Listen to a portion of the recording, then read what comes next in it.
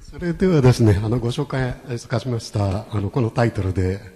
えー、最終講義もあの兼ねるという感じであのお話をしたいというふうに思います。なるべくあの展望って言いましょうかね、あの最近のこういう動向を入れていきたいというふうに思っています。それで、まあ、あの型通りで退職の時は少しプライベートな話もあの入るとあのいうことのようですから少しそのしきたりを守りましてですね2枚ほどあのお知らせしていやいなりのあの紹介をしたいというふうに思います。で一つはあの、まあ、93年ぐらいからですねこういった液状化の解析それから遠心実験ですね。でこういったものを、まあ、世界的なあの形であの世界中の遠心の、まあ、実験者とあと数値解析あのこれからお話しますけどでそれが一堂に会してですねずっとこう、まあ、20年ぐらいでしょうかね続けてきているというようなところで、まあ、専門家の集まりのあのこういったスナップショットが一つあると。それからもう一つはあの専門家だけじゃなくてあの例えばこんな局面もありましてであの前の大統領ですね前の前から。でこういうサステナビリティみたいなお付き合いも、まあ、あると。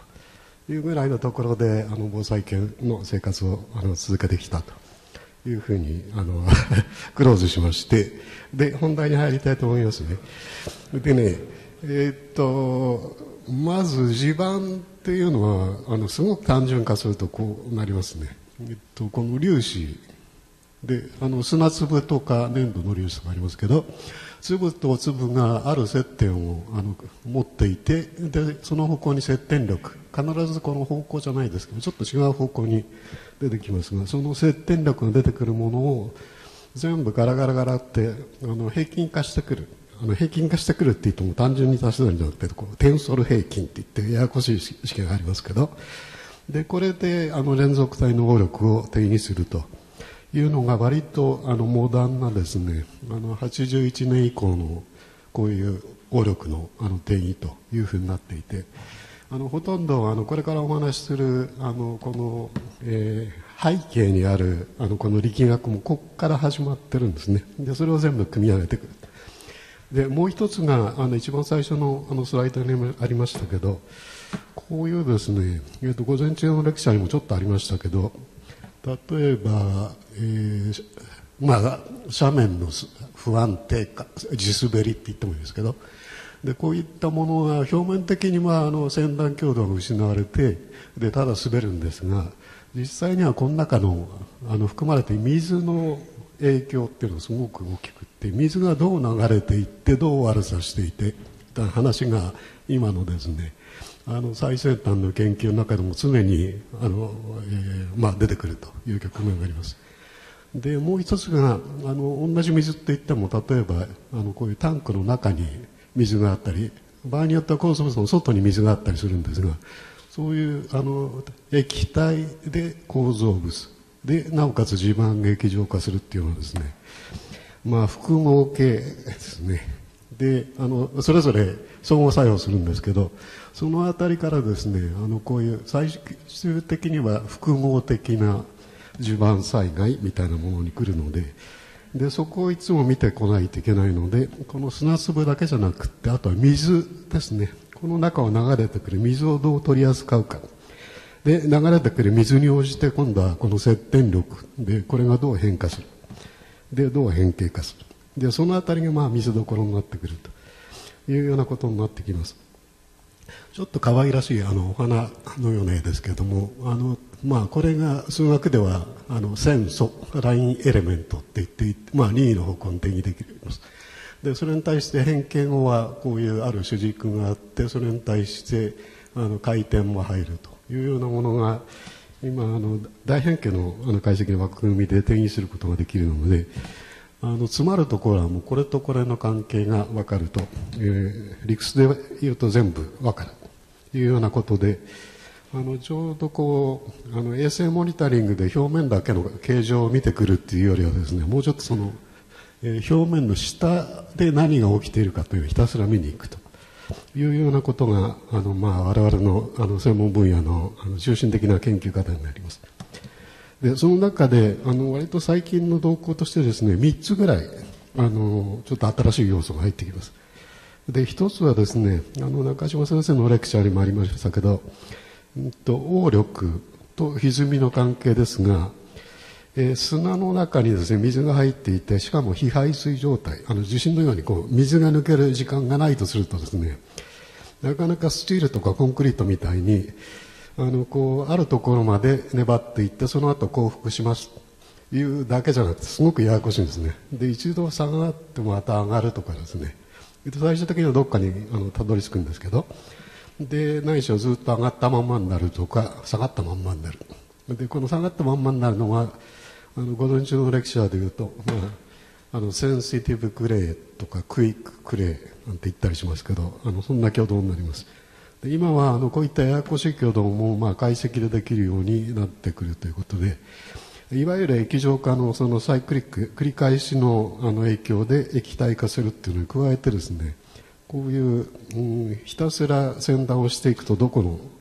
えー、状態に究極として落ち着くかというようなことが1個目のあの最近の動向でこれを入れてこようということですね。あの応力のあの経路えっと、横が、まあ、平均高速圧力ですね。あの東方的にずっと押してくる。でそれに対して縦が先端ですけれども、えー、そこに一辺を線を引くと、まあ、先端強度というふうに言われてますが、えー、そこの強度に向かってですねずっとこう、えー、非排水でやると一度下がっていってまた上がっていくとかですね。すごいややこしいことをずっとあの計算機の中でフォローしますがあの実験が解析でここら辺がまあ大体、えー、うまく挙動が表現できればあとは有限要素の世界に持っていくということですね。それからもう一つがですねあの今あの究極の姿って言ってたどり着くあのこの行き着く先でどこで止まるかなんですがこれがちょっとややこしいことなんですね、えー、感激比、まあ、密度って言ってもいいですよね縦軸。で密度に対していくつか先のあの平均有効高速圧力、まあ、千田強度って言ってもいいですけどでこれの関係で見るとあの E でログ P, P, P が高速圧力これで、まあ、直線の関係にあるんですがすごく敏感でですねであの横軸オーダーで見ていただくと分かりますけど3ぐらいがここでで感激比が、えー、わずか例えば0.1とか0.2とかちょっと密になっただけでもう3倍ぐらい横断が変わってくるっていう世界を何度か表現しなくちゃいけないということであの今ご覧いただいているのは実験ですけれどもあのこれを、まあ、あの数学的にも取り入れてくるというのが2番目のあの課題になってきます。でこれも今あの入るようにはなってきてますが特にですねあの例えばですけど、えー、地表面がこう水を通さないようなね粘土っていうかな。でクラスト状のものがあってその下が液状化していって下から水がどんどんそこに供給されると。後でちょっとシミュレーションあのご覧に入れますけど。そうするとですねここの経路では例えば出だしで先端強度がそこそこあったものが、えー、水がどんどん供給されることによってこの線に従ってですねまあ、持ち上がっていくだけって言えばだけなんですけどでそうするとあの先端強度が極端に、まあ、ここからここでしたら、まあ、3横断ぐらいですね、えー、減ってしまうということでで大変なことが起きるんですね、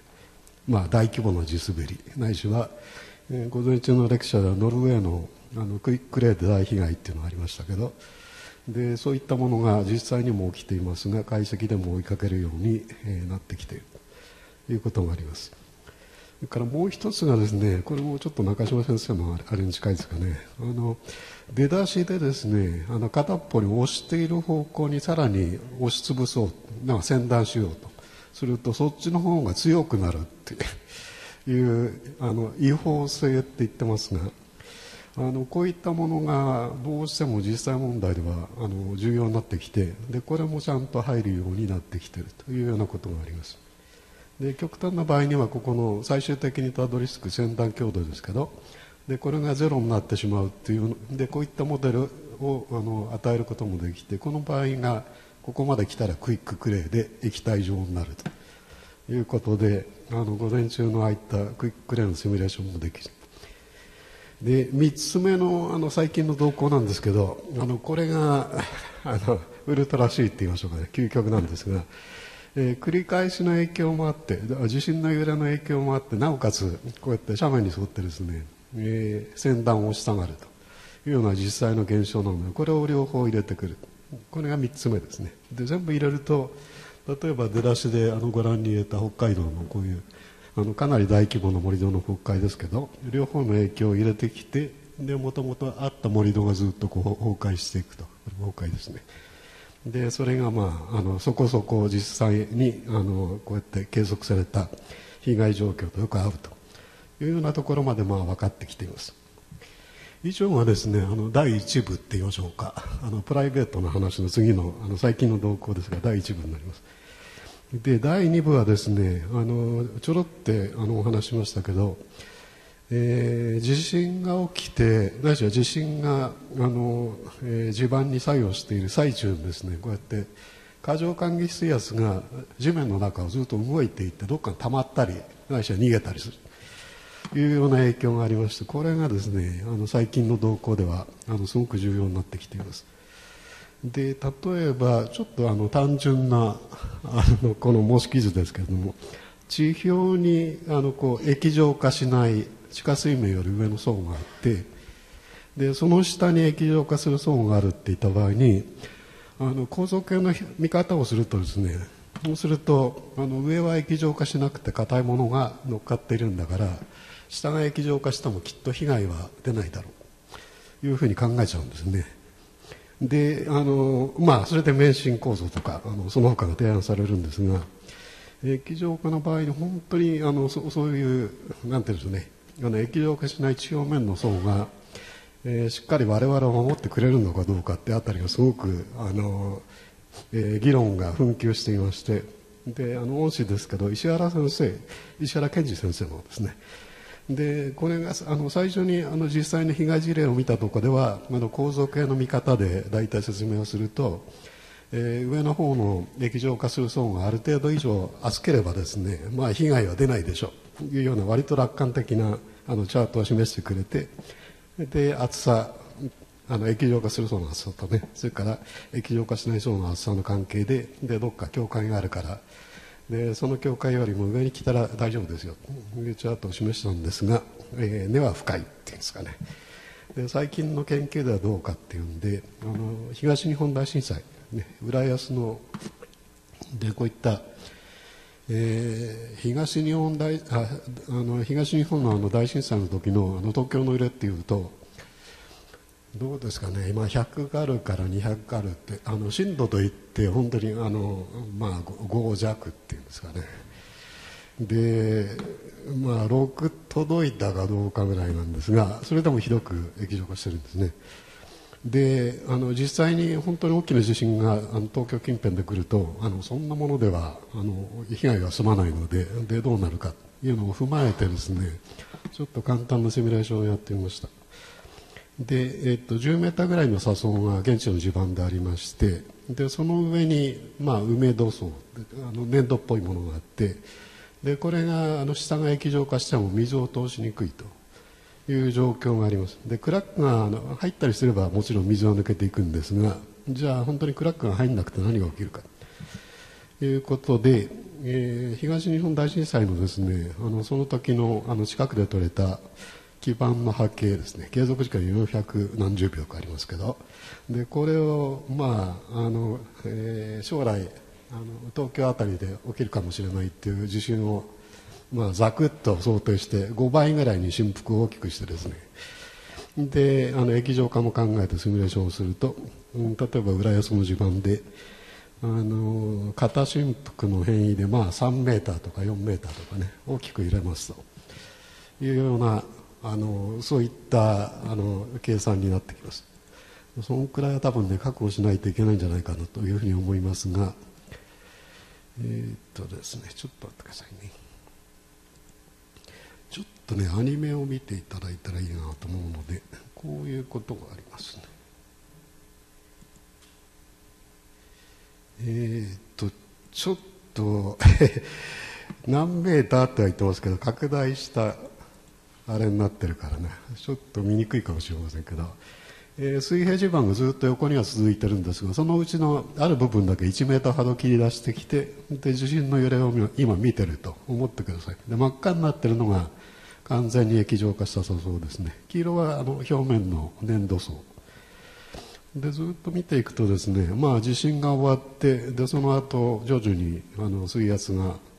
えー、上の方に行きたがっていてそれで最終的には地盤があの抜けた水の分だけ沈下してくる。こういうシミュレーションができます。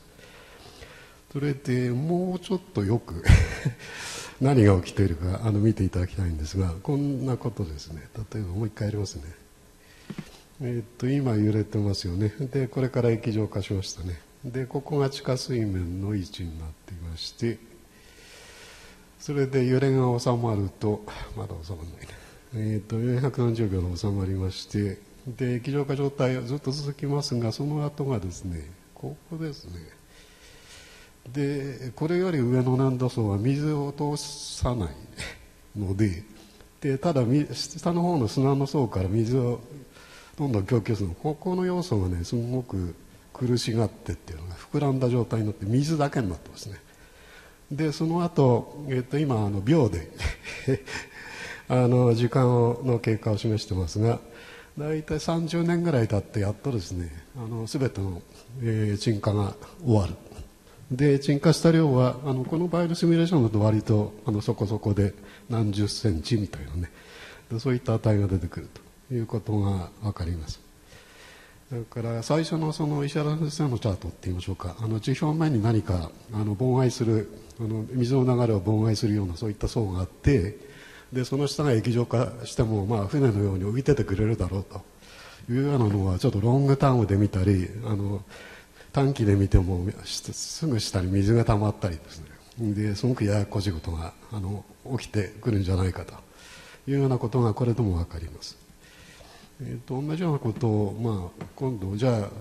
ほんのわずかな傾斜ですね。あの午前中では斜面の傾斜すごい大きいケースがたくさん出てましたけどたった2度しか傾いてないあの都市にありそうな地盤でで同じようなことが起きてで下に水が溜まってくると何が起きる？そうするとまあご覧の通りですが、うんと、ここが水が溜まってきますよね。であの膨らんでいって水ばっかりになりますがこれが溜まってくるとですねもともと持っていた先端強度がこのたった 2, 2メーターですけどね。でこれの層を支えきれなくなるほど先端強度が低下していってでもう辺り一面全部流れ出すというようなシミュレーションになってきますね。実際にはどっかで止めるものがあれば止まりますけど。でこういうことがですねあのかなりあの実際には起きる可能性があってでしかも過去にもあの新潟地震とかその他であのこんなことが起きたんじゃないかと。いうのがずっと言われ続けてはいたんですけれども、まあ、ここら辺に来てあのシミュレーションでも割と簡単にあのこうやってあそういうことも再現できるのかというふうにあの進んできています、だからこういうのをですね、えー、っとまあ、あの専門用語で言うとあの過剰感激水圧の移動に伴う感激比の、えー、再分配ですね。で模式図で書きますとこんなことになりまして、えー、シミュレーションをやった後ですね。で実際にあの、まあ、こんな条件でもともと持っていた先端強度あの終局の強度はあのここであの、えー、ドライビングフォースあの動かそうとしているたった2度のあの傾斜で加わる先端応力に比べて圧倒的に大きいですけどでこれがあの最終的にはずっと下回る形でであの出てくるのであのイメージ的にはですねもともとここが液状化したんだけど液状化した時には大して動かない。でその後で下から水圧が供給されていってでついにはあの先端強度が低下していってで全体を動き出すっていうんでこのシミュレーションの場合は、えー、地震の後ですね7時間ぐらい経って起きるみたいなね。あだから条件によってみんなその時間変わりますけどあの地震が終わったからって言ってでもう大丈夫だみたいな話がねなかなかあのそうはいかないよと。いうような結果が出ています、遠心実験その他でもねあのこういったあのことを極めようと。いうことでいろいろフォローをしている最中です。で次がですね、えーと、大きくグルーピングして3つ目の課題になります。あの、まあ、最近の動向の3つ目なんですが。でこれがですね、えー、地下水面より上の部分だからある意味その小規模っていうんですかね話は細かくなるんですけれどもえー、実はその地下水面より上の部分でこう、えー、地下水が流れていてでその上の、えー、土は乾いているかっていうこと決してそうではなくてですねあの不飽和度って言ったりあの英語ではパーシャルサチュレーションって言ったりしますけど、え、部分的にまあ飽和しているだけであってでサクションが働いたりですね。それから空気が液状化に伴ってで抜けていったり水が入っていったりと。あの結構あのややこしいことが起きます。でこの辺りがですねあの、まあ、グループングで3つ目最近の話題の3つ目になりますね。酸素系って言ったりします。あの空気があってですごくあの体積圧縮しやすいようなあのそういった流体ですね。それから水。であとは骨格っていう。のでこれはですねあの、まあ、とりあえず我々の分野ではあの水とそれから空気いうようなことであの、まあ、定義はしてますけれども、えー、実際地球規模で見てくると例えばこれがあの石油であってもいいわけだしでこっちがあの例えばメタンガスとかですねあの天然ガスであってもいいわけであの資源系でもいくらでもこうあの、えー、コンピュータープログラムを作ってあげるとでその後のあの応用はすごくあの広い。でそういう学問領域になってきます。だから私もなんていうんですかね液状化研究なんかやらないでこう石油とあと天然ガスかなんかでやっていたら多分大儲けしたんじゃないかと思うんですけれども。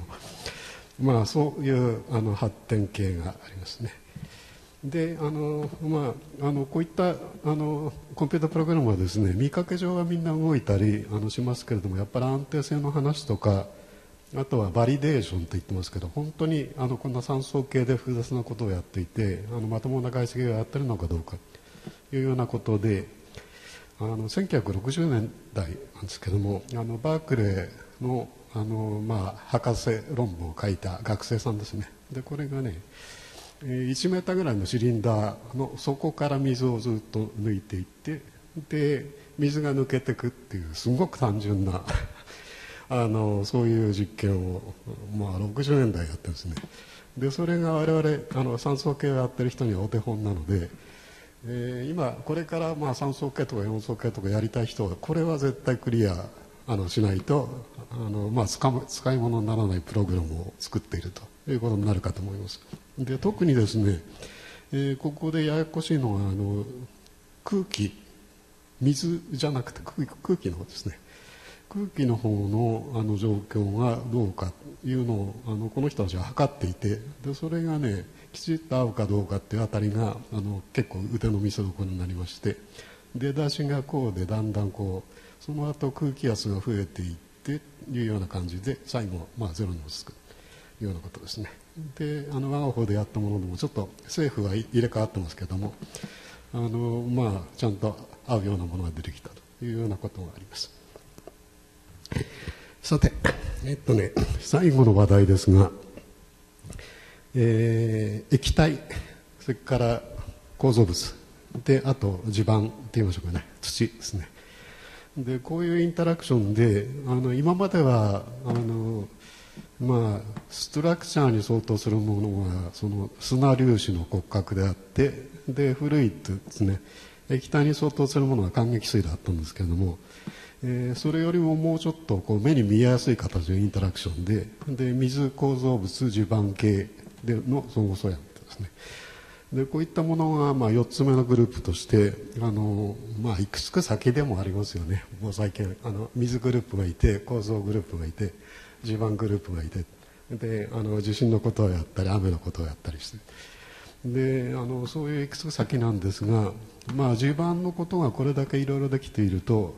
まあ、ひいき目に見ればですねあとは割とやりやすいというあの世界ではあるのでちょっとあの最近の動向ということであの紹介しておきたいというふうに思います。えっと、具体的な例としてはですね、えっとまあ、石油タンクも今あのマスター論文であの一つあの書いてもらってますが、えっと、その一つ前にあの遠心の実験とそれからこういうあの解析等ですね、えー、2011年の東日本大震災のあの釜石であの防波堤が壊れたというような例があったのででこれについてのあの事例を紹介したいというふうに思います。であの防波堤はですねすごく単純なあの構造物でありましてコンクリートの塊ですね。でこれがあのステイシーマウンドっていって基礎の上に乗っかっているというだけです。だから設計も簡単なはずでで津波が、まあ、押し寄せてきたらあのオーバートッピングの部分を除いたそういうあの等価な波力あの波の力ですね。でそれがあるはずでであとはあの注意しなきゃいけないのは下からも水圧が回ってきますからでそれがプラスアルファの浮力を考えておけば、えー、これが動き出す限界の力があの、えー、ちゃんと、えーえー、まあ 電卓を叩いても計算できるだろう。ということであの現地の防波堤もこれでしっかりですねあの設計をしていたんですがあの壊れてしまった。ということでで被害を大きくしたということがあります。じゃあなんで壊れたのか。で、えっとまあ、現地の防波堤大きいのではこんなですね,、えっとねや約2キロぐらいこうずっと防波堤があって真ん中は船を通すんで300メーターぐらい空いてますけど、えー、それぞれ700メーターとか1キロとかですねそういうものでこう巨大な、えー、建築で言ったらまあどうでしょうね、えー、っとこれって言って20何メータープラス6メーターですから、まあ、30メーターぐらいあるんで。10階建てとかもうちょいですね。でそれが海の中にあの作られていると。いうイメージであの見ていたらいいと思います。であのこれが壊れちゃったんですがあの、まあ、水関係の専門家とあの地盤関係の専門家とですねあの出だしのところで結構あの 論戦というんですかね。あの見方が違ってましたね。あの当時は。であの水関係の専門家はですね割と素直あ素直って言ったらあれだね、えっと、見た通りにこう映像を解釈しようとするので、えー、まず津波による波力があるはず。それからあの、えー、湾内側と湾、えーと、外海側ですか。でそれの水位差もあるはずでで残りがですねこうやってあの越波したあの、まあまあ、防波堤を越えてきた落ちてきた水によってでこの湾内側からですねマウンドが侵食されていって徐々に侵食されて最後はケーソンの真下まで届きでその結果あの、まあ、壊れたんじゃないかというようなことであの貢献のグループなんかもですねあのそういった研究をたくさん進めたグループがいます。であの地盤系が見てくるとですねやっぱりあのこういう水のあの水位差が前後にあって何かそれをせき止めるものがあるって言ったらあの下のマウンドの中をですね、うん、この潮位差に応じてでものすごい勢いであの浸透流が発生するのでで最終的にはこの湾内側であのボイリング場のえー、支持力不足。でそれを引き起こす。でそういったものがあるだろうというふうに、まあ、注目して。でそれでいろいろ検討するんですね。でそこで分かれちゃったんですがまずは実験をやろうっていうんであの遠心採火実験ですね。あの大きな実験はしないですがあのとってもあの大きなものを再現する能力があるっていうのは遠心実験のあのこの強みなんですけど。えーと、この場合はですねちょっと人工的にあの浸透流を起こさせないように、えー、ゴム膜っていうのかな、えー、ラバーメンブレンをこちらに入れたもの。これがケース2でこちらは何もしないで現地と同じような。でそういう状況で津波の状況は両方同じなんですね。でこれでもう一回リピートしますけど。であの、こんな感じですかね。ちょっとこここら辺なかなか水が流れてるのを見るのは難しいですけど、うん、こういう具合にあのこれをやってくれた学生さんも本当に見事にこれを再現したなという感じがありましたけどね、えー、こういう実験が出てきた。あとは解析をすればいいということになりますね。でちょうどねここのあの破壊モードっていうのがちょっとややこしいって言いますかね。破壊モードを見ただけだとこちらから線屈が進んでいってであのマウンドの下まで行ってで上の防波堤と一緒に壊れたのかでそうでないのかというのは見分けがつかないようなですねそういう複合的な破壊になってですね。で地盤系から見るとこれはまあ指示力マウンドの中のあの先端力が不足したんだというふうにまあ見えるんですがじゃあ実際にやってみようというようなことですね。でまあこちら側のパターンだと、まあ、ちょっと先屈が起きてないということもあってであの実際には、まあえー、被害が起きてない。であの解析をやります。で解析をやるとこんな感じですがちょっとですね見てみましょうかね。アニメで見るともうちょいあのイメージが水圧が伝わっていって徐々に水圧が伝わっていって水位が上がっていってそれで、えー、これギリギリのところでこうやって あのそのもともと持っていた有効応力がありますけどこれがあの抵抗力になるんですけどこれがあの十分でなくなるとこちらから押されている影響もあってでいよいよ傾き始めるいうようなですねこんなことになってますね。ということでですねあの割とこう地盤の中ですね。地盤の外から見てで面白いなっていうあのそういう世界ももちろんありますけどあのやっぱり地盤をやってるんだったらあの目に見えないあのそういった地盤の中、ね、何が起きてるかというのをいろいろ考えていってですねで極めていくというようなことが、まあ、研究の本質じゃないかというふうに思っていましてであの最近の、まあ、動向っていうのは4つぐらいにちょっと分けてあのお話をしたつもりです。で1つはですねあのこの3つぐらいのグループでしょうかね。あの、えー、非排水だから従来型のその地震の最中に揺れているけれども水間隙水は抜ける時間がない。という時に、えー、終局強度ないしは steady state ですね。定常状態のせん断強度を、えー、従来の繰り返しの液状化の挙動に加えてですね考えてくる。それからあの押した方向にそのまま押し続けるともうちょっと強くなるというようなそういった、えー、応力誘導違法性って言ってますけどでそれを入れてくると精度が高まる。でその上でえ従来やっていた液状化の解析のあの繰り返しの先端の影響にさらに加えてですねこういうあの定常状態で終局の状態を入れてくるとあの実際のあの解析が、えー、うまく精度よくですね実際の現象を表現するようになってきているというようなこと。これがあの第一グループになりますね。で第二グループはあの割とアニメで見ていただいたのでよく分かったというふうに思いますがあの例えば、えーとえ、水が抜けていくっていう状況の上ででその抜けていく先にあの粘土のあの被覆層があったりですね、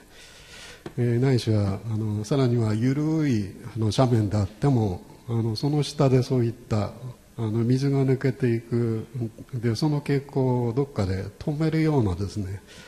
そういった要因、まあ、複合地盤で粘土地盤と砂地盤のあの、まあ、複合地盤なんですけどでそういったものがあるとあの、えー、地震の時には一見動かない。ないしは地滑りが起きないって言っても。でその後でずっと水が回り込んでくることによってですねで大規模なそういう流流動破壊。ないしは大規模なこうえー、地滑り状態っていうんですかね。そういったものが起き得るというようなことがあります。あの、まあ、地下でいろんなこうライフライン系が埋まってますけれどもでそういったものには甚大な影響があるし、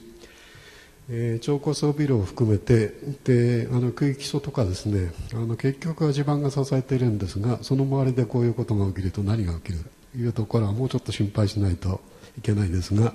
まあ、解析的にはだいぶあのそれが評価できるようになっているということがあります。で3つ目のグループはあれですね。あの酸素系でもしあの石油を扱ってれば大儲けすると。いうそういう課題とそれからあのあと防災研の研究のいくつか先ですが、えー、水と構造物とあと地盤ですね。あの全部あの両方で影響を与えながらあの実際の挙動があの起きるとしたら何が起きるかと。いうようなことが少しずつできるようになってきていると。いうようなことですね。えー、以上をもちましてですね最近のあの研究の動向でそのお話をあの終わりたいと思います。ありがとうございました。